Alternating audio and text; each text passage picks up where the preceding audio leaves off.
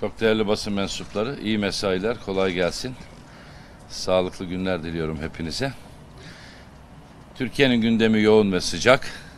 Hem içeride hem dışarıda çok önemli sorunlarla boğuşan bir hal içindeyiz milletçe.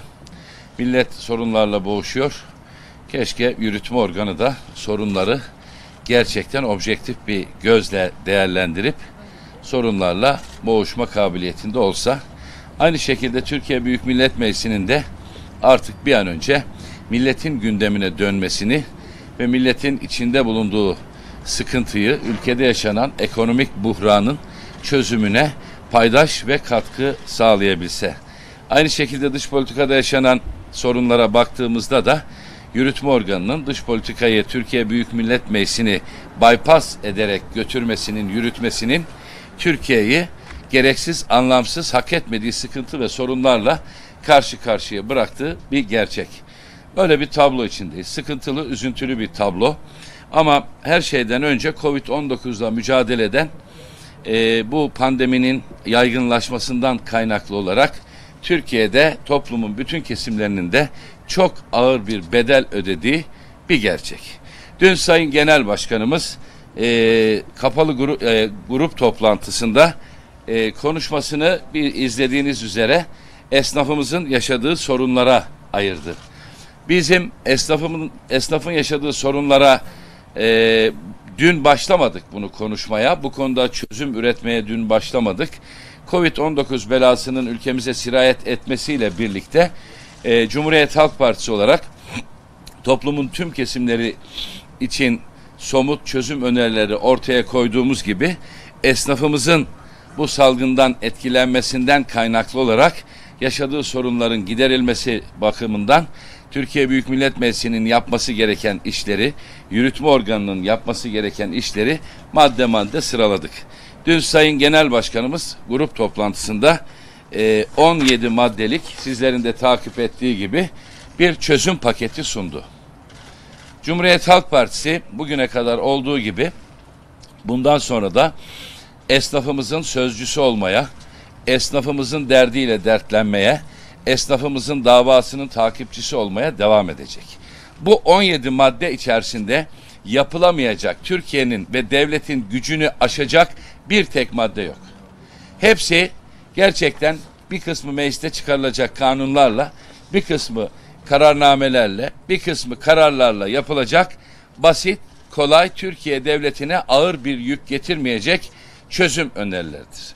Esnafımızın bu 17 maddeyi takip etmeye, bunun takipçisi olmaya, hatta belki ben sorundan, krizden etkileniyorum, bu kriz beni vurdu kardeşim diyen her esnafın bu 17 maddeyi dükkanın camına asmasını tavsiye ediyorum.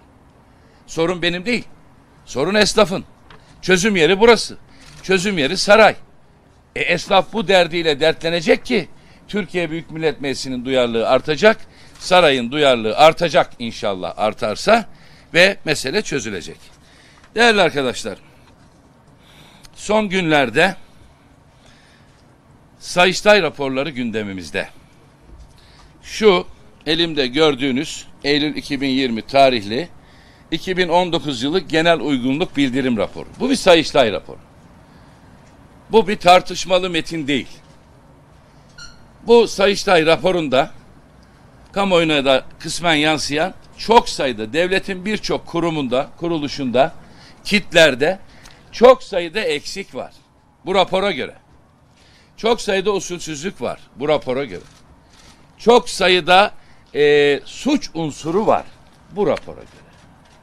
Bizim bu rapor Sayıştay'ın Türkiye Büyük Millet Meclisi adına görev yapan bir kurum olduğu, anayasal bir kurum olduğu düşünüldüğünde ve anayasanın 160. maddesinde Sayıştay'ın görevi tanımlanıp tarif edildiği çerçevede de Sayıştay her ne kadar makaslansa biraz kuşa çevrilse de Sayıştay'ın merkezinde üst birimlerinde Sayıştay denetçileri inceledikleri kurum ve kuruluşlarla ilgili bir rapor hazırlar. Şimdi iki bu rapora karşı iki kanaldan iki hamle var değerli arkadaşlar. Birisi Plan Bütçe Komisyonu'nda şu anda bir kanun, torba kanun görüşülüyor. Ve bu torba kanunun birinci, ikinci, üçüncü ve dördüncü ve beşinci maddeleri şunu içeriyor. Bütçe yapılırken artık fonksiyonel sınıflandırma kalkıyor. Niye? Ya da bu ne demek? Bu şu demek. Bir bakanlığın, X bakanlığının bütçesinde Türkiye Büyük Millet Meclisi'nin sayın üyeleri artık hiçbir harcama ayrıntısını göremeyecek. Hiçbir detay göremeyecek. Peki Sayıştay denetçilerinin bu denetimine engel mi? Değil. Ama Sayıştay denetçilerinin raporları da fonksiyonel sınıfları sınıflandırması kalkmış bir bütçeye uygun olarak zaten kuşa çevrilmişti. Şimdi sineğe çevrilecek ve mecliste koskoca bakanlık için 3 A4 sayfasından oluşan bir rapor gelecek. Peki buradan soruyorum. Türkiye Büyük Millet Meclisi'ndeyiz. Türkiye Büyük Millet Meclisi usulsüzlükleri örtme yeri değildir. Vebaldir, vebalin bedeli vardır. Ve aynı şekilde bugünlerde Rütük bir tweet atıyor. Tweet'i okumak istiyorum. Diyor ki, Radyo Televizyon Üst Kurulu, sarayın giyotini, sarayın medya giyotini. Henüz sonuçlanmamış Sayıştay raporlarını kullanarak devlet kurumlarını yıpratma yönelik habercilik anlayışından vazgeçilmelidir. Yandaşlıkta ısrar edilmesi durumunda bunun hukuki sonuçlarının olacağını hatırlatıyoruz. Değerli basın mensupları, yani Rütükse diyor ki bu Sayıştay raporlarını haberlerde kullanamazsın. Niye? Ya bu Sayıştay anayasal bir kurum, yüksek yargı organı niteliğinde sayılır. Bir denetim kurumu. Türkiye Büyük Millet Meclisi adına yürütmeye yani milletin kör kuruşunun nereye harcandığını denetleyen bir kurum. Şimdi Rütük size diyor ki Sayıştay raporlarını yayınlamayın. Niye? E şunun için onu da söyleyelim hemen. Mesela tasarruf mevduatı sigorta fonu saraya yakınlığıyla bilinen bir aileye 45 milyon TL'lik usulsüz ödeme yapmış. Parayı geri de alamıyor. 45 milyondan bahsediyoruz. Gene aynı şekilde Osman Gazi Köprüsü'nün kamulaştırmasında kamulaştırmalarla ilgili olarak firma, işletici firmanın devlete vermesi gereken 568 milyon TL, 568 milyon TL verilmemiş diyor. Kör kuruşu değil, milyonların hesabını soruyor. Bu paralar milletin, Erdoğan'ın cebindeki para değil bu. Yine aynı Sayıştay Osman Gazi Köprüsü'nden dört buçuk yılda e, geçiş garantisinden dolayı devletin yüklenici firmaya, işletici firmaya 5 milyar 834 milyar para ödediğini tayin ve tespit ediyor. Rütük diyor ki bu bilgileri ahali duymasın. Halk duymasın. Rütük Başkanı'na sesleniyorum. Bu yaptığın hadsizliktir. İşgüzarlıktır. Saray dal kavukluğudur. Bunları halk bilecek.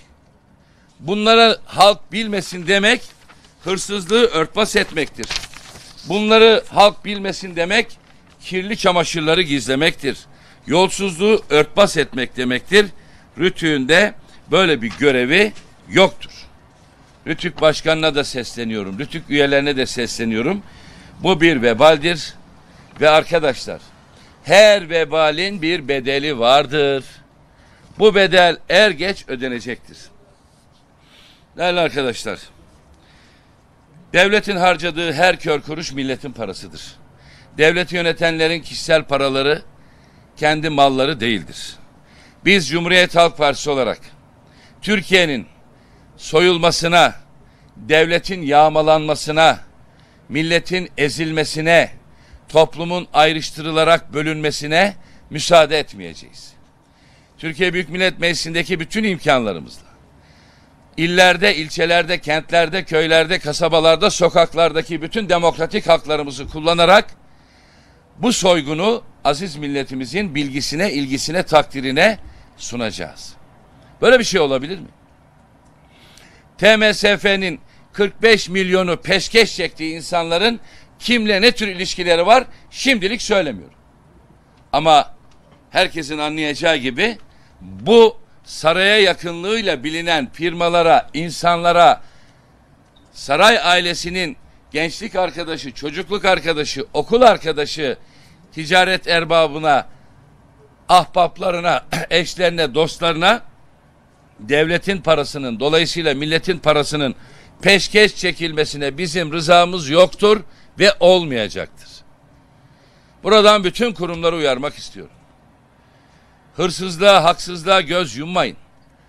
Radyo Televizyon Üst Kurulu'nun görevi hırsızlığı, haksızlığı, yolsuzluğu örtbas etmek değildir.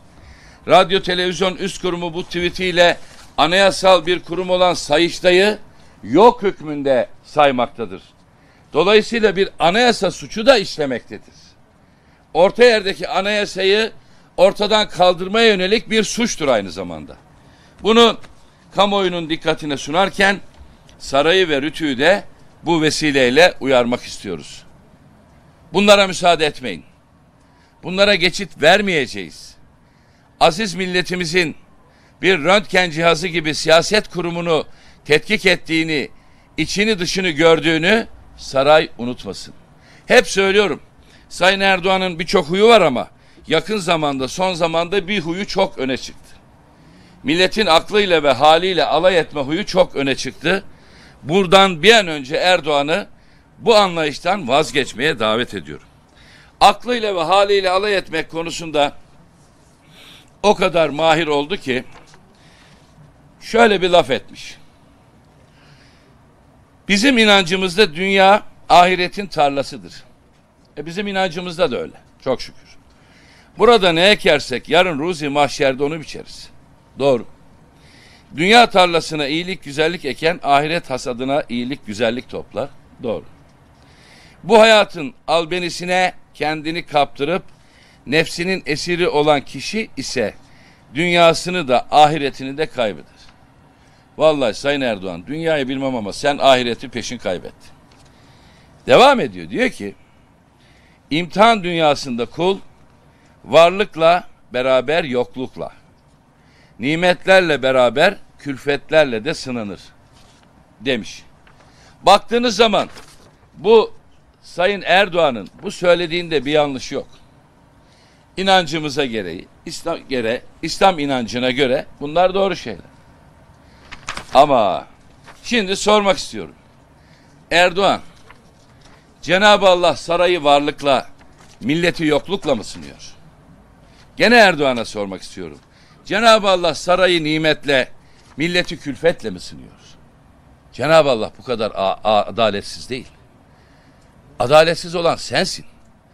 Milletin parasını, devletin bütçesini çarçur eden sensin.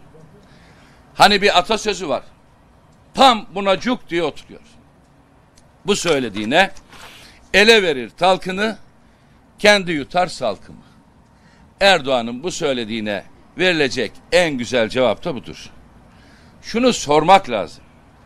Erdoğan, sen saraylarına saray katarken uçanı, yüzeni, kışlığı, yazlığı, milletin çöp konteynerinden ekmek topladığını görmez misin? Bu seni incitmez mi? Bu sınav dünyasında senin nasıl bir ruh halin var ki sen sarayda debdebe şatafat içinde varaklı sandalyelerde poz verirken çöp konteynerinden ekmek arayan insanın haliyle neden dertlenmezsin? Neden onun için ondan sebep bunda benim dahlim var demezsin? Yeri geldi mi Fırat'ın ötesinde kaybolan kuzudan ben sorumluyum diyenlerin diyen büyüklerin diskurunu ortaya atıp ben de böyleyim dersin. Sen kaybolan kuzuyu bırak. Çöpten ekmek, ekmek toplayan, çöpte ekmek arayanın derdiyle dertlen. Haliyle hallen. Onun sorununa bir çare bul. Allah'ın yasakladığı, sakınmamızı istediği şeylerden birisi de israftır.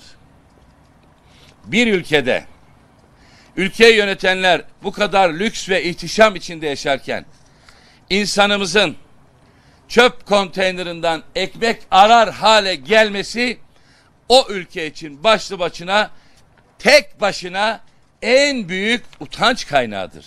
Bu utanç sarayla ilgili kalamaz. Bu utanç 83 milyon için utanç kaynağıdır.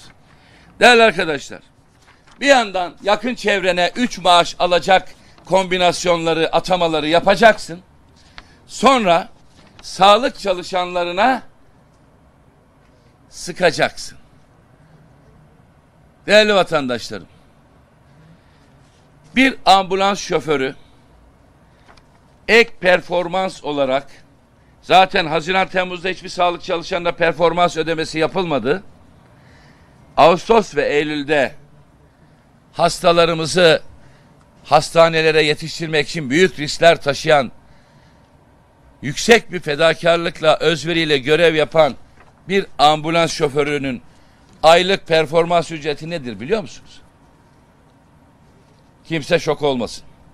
7 lira 24 kuruş. Yani Erdoğan yakın çevresindeki herkese 3 maaş alacak pozisyonu sağlamış. Ama ambulans şoförü bir ay ter akıtıyor. Büyük güçlüklere göğüs geriyor, uykusuz kalıyor, aç açık kalıyor. Covid'le mücadelede kellesini koltuğunun altına alıp çalışıyor. Senin verdiğin para ayda 7 lira 24 kuruş. Ayıp. Ayıp. Ayıp. Doktor ne alıyor? Doktorlarımız evine gitmiyor. Hastanelerde ya da kendilerine gösterilen otellerde kalıyor. Neredeyse 7-24 çalışıyor. Bir sağlık çalışanının Covid ile mücadele kapsamında bir doktorun performans ödeneği ücreti 120 TL. Bin değil. Bildiğin 100 lira. 120 100 100 lira 20 120 lira. Bildiğin 100 lira. Bir doktora bir ayda 120 lira ver. Ama sarayın yakın çevresindeki herkesin en az 3 maaşı olsun. Bu Allah'tan korkmamaktır. Bu kuldan utanmamaktır. Değerli arkadaşlar, hükümetten hayır yok. Dolayısıyla bizim burada yapmamız gereken Türkiye Büyük Millet Meclisi'ni bu duruma el koymaya çağırmaktır. Bunu genel kurul aşamasında sürekli olarak dillendiriyoruz, yapıyoruz. Yapmaya da devam edeceğiz. Ama ben AK Partili milletvekillerine de aracılığınızla çağrı, çağrı, çağrıda bulunmak istiyorum. Ambulans şoförüne 7 lira 24 kuruş veren devlet olmaz olsun kardeşim. O devleti idare edenler o devleti idare etme ehliyetini kaybetmiştir. Doktora bir aylık performans için 120 lira veren devlet olmaz olsun kardeşim. Türkiye Büyük Millet Meclisi derhal ve hiç gecikmeden lüzumsuz tırıvırı işlerle uğraşmayı bırakarak bu meseleye el atmak zorundadır. Sağlık çalışanlarımızın moralini daha fazla bozulmasına Türkiye Büyük Millet Meclisi'nin seyirci kalması kabul edilemez. Türkiye Büyük Millet Meclisi bu duruma daha çok seyirci kalırsa kuruluş gerekçesini inkar etmiş olur. Buradan meclisin bahçesinden meclisi oluşturan tüm siyasi parti gruplarına bu vesileyle tekrar seslenmek istiyorum. Parti ayrımı yapmadan vatandaşlarımıza da seslenmek istiyorum. Vatandaşlarımızın da bu e, çelişkiye, bu çarpıklığa, bu ucube düzene gerçekten hangi parti oy verirlerse versinler oy verdikleri milletvekillerini arayarak, telefon ederek, mail atarak müdahale etmeleri lazım. Pazartesi günü 2, 3 ve 4. sınıflar ve 8 ve 12. sınıflar ders başı yapacak. Bir yandan uzaktan eğitim devam ediyor. Milli Eğitim Bakanlığı 3-4 ay önceydi. Dedi ki 3 milyon 100 bin öğrencimizin interneti yok. Dedi ki 754 bin öğrencimizin televizyonu yok. Biz dedik ki Cumhuriyet Halk Partili belediyeler derslik yapmak lazımsa derslik yapacak.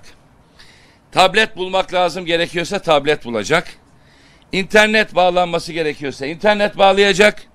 Televizyon alınması gerekiyorsa televizyon alacak dedik ve Sayın Genel Başkanımız bütün belediye başkanlarına katı kesin bir talimat verdi. Bunları halledeceksiniz. Başka işlerden kısacaksınız.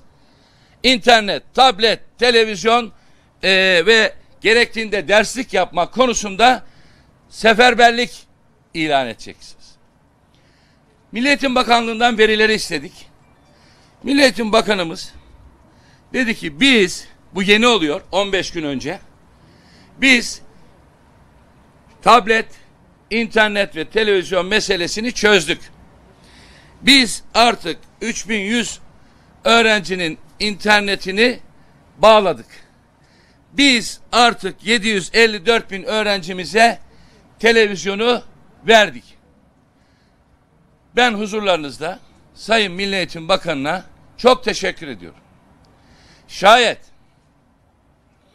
şayet 3 milyon 100 bin öğrencimiz internete kavuştuysa 754 bin öğrencimiz kendine özel ya da evde en azından gerekiyorsa ikinci bir televizyona kavuştuysa bir evde üç öğrenci olduğunu düşünün.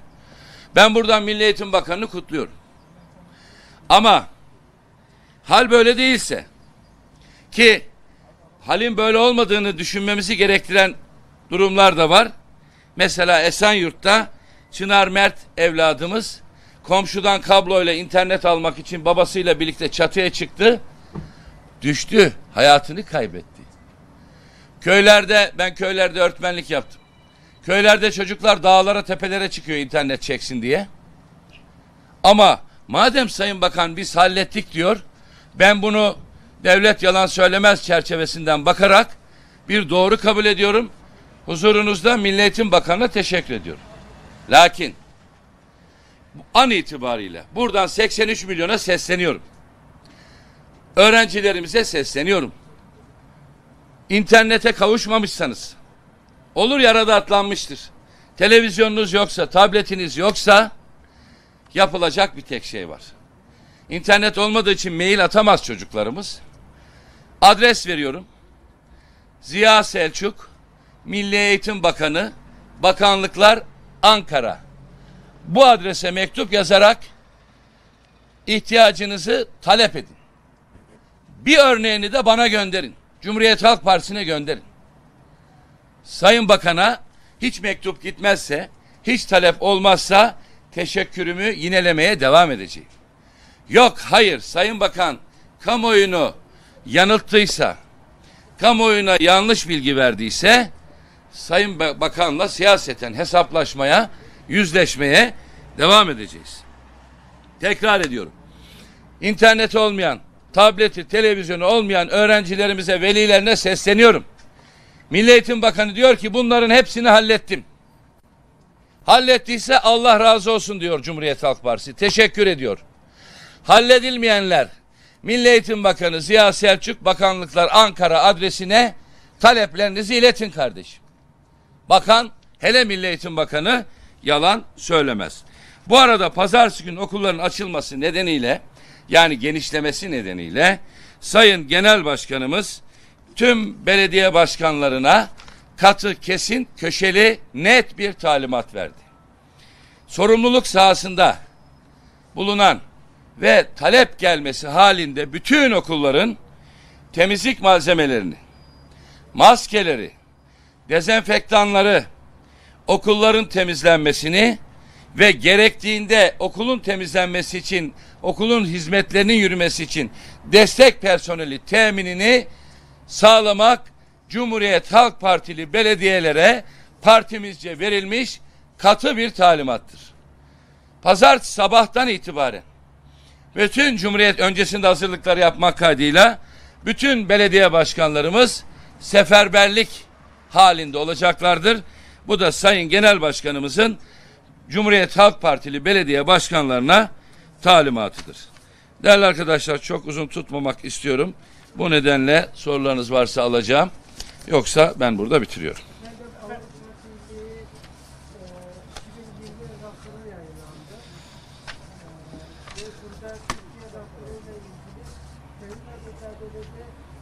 alınan önlemlerin orantılı olması istendi. Avrupa Partisi ülkede ülkelerinin birini de uzaklaştığını vurguladı. İkinci soru da şu, e, HDP'nin Kobani eylemlerine ilgili verdiği sonu önergelerde ne dediydi? E, daha önce de vermişti. Bu konuda da değerlendirmeyi talep ediyorum. Arkadaşlar, Avrupa Birliği'nin raporunda sade sizin söyledikleriniz var. İlaveten mesela şu var. Bir tehdit var. Türkiye'nin Kuzey Kıbrıs Cumhuriyeti yani Kıbrıs Cumhuriyeti diyor onlar da biz Kıbrıs Güney Kıbrıs Rum yönetimi diyoruz. Hidrokarbon kaynaklarına karşı çıkan yasa dışı eylemleri ve kışkırtıcı açıklamaları var diye suçlanıyor. Ee, önce şunu söyleyeyim. Ee, Avrupa Birliği Doğu Akdeniz'de sadece Güney Kıbrıs Rum yönetiminin olmadığını ya öğrenecek ya öğreteceğiz. Doğu Akdeniz'de Kuzey Kıbrıs Türk Cumhuriyeti de vardır. Avrupa Birliği önce bunu bir bilecek. İki, Avrupa Birliği Türkiye'ye ayar verme hadsizliğinden vazgeçecek. Buna asla ve asla Türkiye olarak rızamız yoktur, olmayacaktır. Ve bir söz daha var orada. Giderek AB'ye üye olma şansı azalıyor, buharlaşıyor demiş. Ee, yani Türkiye'yi Avrupa Birliği'ne almamak için diretenlerin Türkiye'yi Avrupa'ya göçmen gelişini engelleyen bir tampon saha gibi görmelerine rızamız olmayacaktır. Avrupa Birliği haddini bilecektir. Ee, terörle mücadele konusunda Avrupa Birliği dedi diye değil. Avrupa Batı istiyor diye değil. Biz hep şunu söylemişiz. Hiçbir güvenlik kaygısı temel hak ve özgürlüklerin kısıtlanmasına dayanak olamaz. Demişiz. Yani devleti terörle mücadelede hukuk içinde kalmaya yıllardır davet eden, çağıran bir partiyiz. Ama bir şey de demişiz. Hiçbir hak talebi teröriste masumiyet, terörizme meşruiyet sağlamaz da demişiz. Bizim bu konuya bakışımız budur. Türkiye hiç şüphesiz hukuktan ayrılmamak, devlet terörle mücadelede hukuktan, hukuk ipinden ayrılmamak zorundadır. Devletin hukuktan ayrılması sadece terör örgütlerinin işine yarar. Devletin işine yaramaz. Hukuk içinde kalarak terör örgütleriyle katı kesin bir mücadele vermek, etmek mümkündür. Bunun altını bu şekilde çizmek istiyorum. Ancak bu noktaya niye geldik? Neden bütün dünya gözü Türkiye'ye dikti ya da bütün dünya Türkiye'yi eleştirecek, Türkiye'ye ayar verecek bir yarışa girdi derseniz orada cevabımız şudur. Doğu Akdeniz'de nasıl haklıyken, çok haklıyken yalnız kaldıysak Avrupa Birliği ilişkileri de bu noktaya geldiyse değerli arkadaşlar bunun sebebi şahsım diplomasisidir. Şahsım politikasıdır. Hep söylüyorum şahsım ve Bay Trump, şahsım ve Sayın Putin, şahsım ve Monsieur Macron diye söze başlarsan Avrupa'yı da diğer ülkeleri de Türkiye'ye bakışı noktasında olumsuzlarsın. Türkiye Amerika, Türkiye Rusya, Türkiye AB ilişkileri olmalı. Dış politika ve diplomasi şahsım üzerinden yürümez.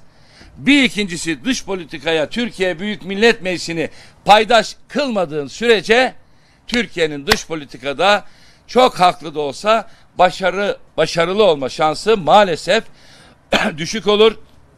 Erdoğan'a buradan bu vesileyle tekrar sesleniyorum. Dış politikada Türkiye Büyük Millet Meclisi'ni paydaş yap. Hem sen üzülme hem Türkiye kaybetmesin diye de bu soruya cevap vermiş olalım.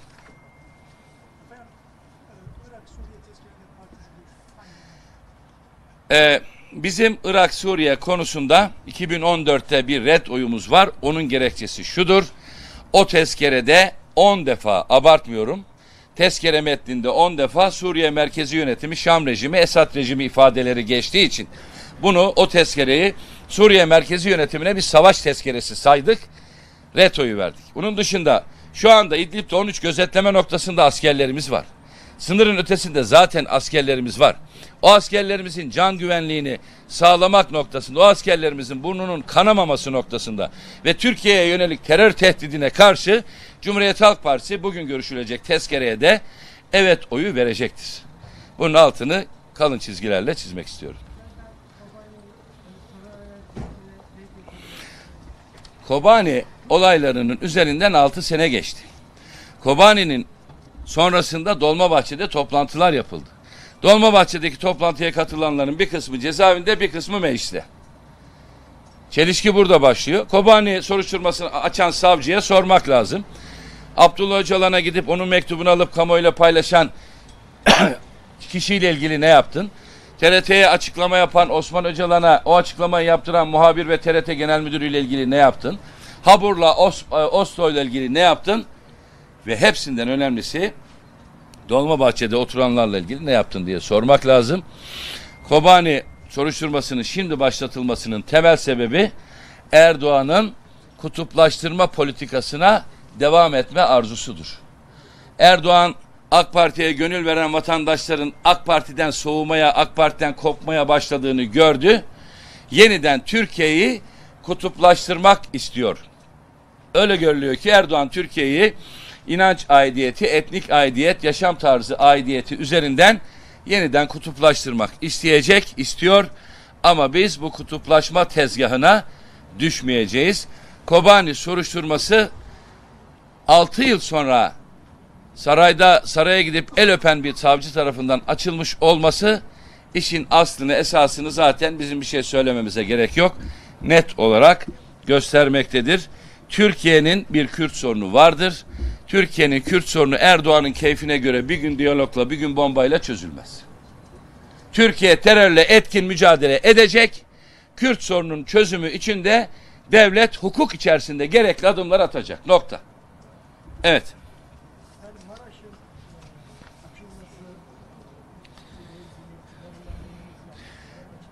E, bendeki bilgiler bir sahilde bir sahilde bir açılma kararı var gibi duruyor. Malum Kuzey Kıbrıs Türk Cumhuriyeti'nde seçimler de yaklaşıyor. Ama ben seçimlerden ayrı olarak Cumhuriyet Halk Partisi'nin tutumunu sizle paylaşayım. Biz rahmetli Bülent Ecevit'ten Kıbrıs Fatihi Bülent Ecevit'ten bugüne Maraş'ın sahillerinin değil tamamının açılmasını istiyoruz. Çok net. Sayın Genel Başkanımız da rahmetli Bülent Ecevit de sağlığında müteahhit defalar bunun altını çizmiştir. Ayrıca Nisan 2004'teki anlam planı referandumundan önce Avrupa Birliği'nin bir açıklamasını da sizle paylaşalım. Rum tarafı hayır verirse, Türk tarafı evet verirse, böyle bir sonuç çıkarsa Avrupa Birliği dedi ki doğrudan ticaret tüzüğünü yürürlüğe koyacağız. Ey Avrupa Birliği Türkiye'ye ayar vereceğine ta 2004'te söylediğim bu sözün gereğini yap. Nerede doğrudan ticaret tüzüğü? Yok. Bu bakımdan Kıbrıs konusunda da e, ne Avrupa Birliği'nden ne diğer ülkelerden alacağımız bir diskur doğrultu yoktur. Tekrar altını çiziyorum. Cumhuriyet Halk Partisi'nin görüşü Maraş'ın tümüyle açılmasıdır. Bu görüş bize Kıbrıs Fatihi merhum Ecevit'in mirasıdır. Bunu sürdürmeye ve bunu talep etmeye de devam edeceğiz. başhekim yardımcısı. Ali Edizer. Evet evet. Yani e, devlet içerisinde bir e, tarikat ya da cemaat yapılanmasına da aslında yapılanmasının da tehlikesine işaret eden bir e, olay değil mi? bu? Nasıl değerlendiriyorsunuz?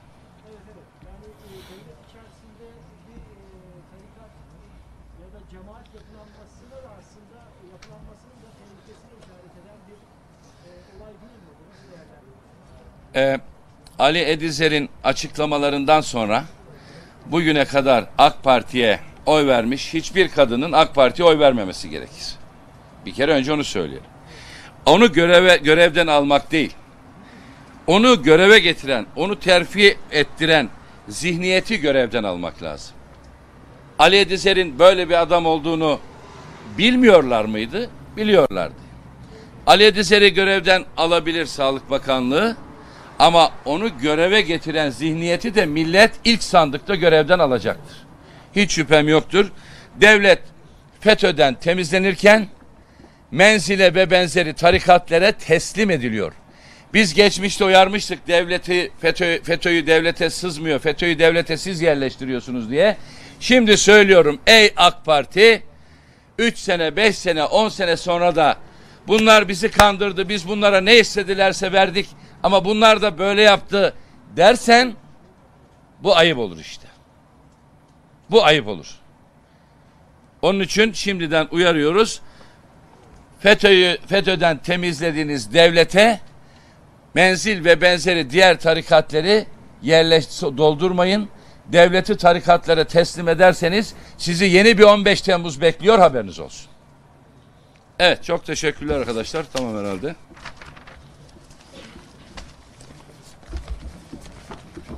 Yine yarım saat olmuş ya. Görüşürüz.